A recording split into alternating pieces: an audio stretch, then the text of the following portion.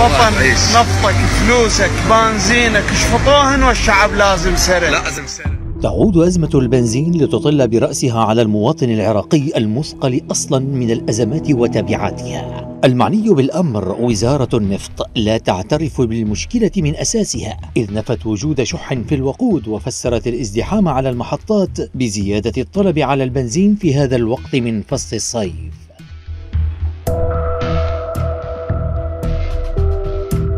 أزمة الوقود ألقت بظلالها على محافظات عدة بينها نينوى والتأميم وديالى والأنبار واشتدت في أربيل ودهوك بسبب فرق التسعيرة ولجوء المئات إلى الموصل للحصول على الوقود منها.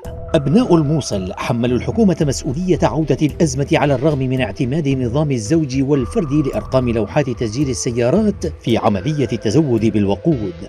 فهمان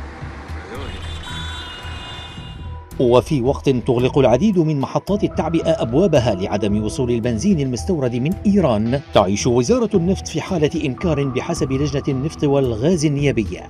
اللجنة أقرت بتقصير الوزارة وشددت على ضرورة وضع آلية حقيقية لتوزيع المنتجات النفطية على المحافظات ومحطات التعبئة. وفي هذا الخصوص يقول خبراء نفطيون إن عملية توزيع المحروقات تخضع لجهات متنفذة ومدعومة من أحزاب سياسية تهرب بعض حصص المحافظات إلى خارج العراق والهدف بيعها بأسعار أعلى وسط غياب الدولة والرقابة.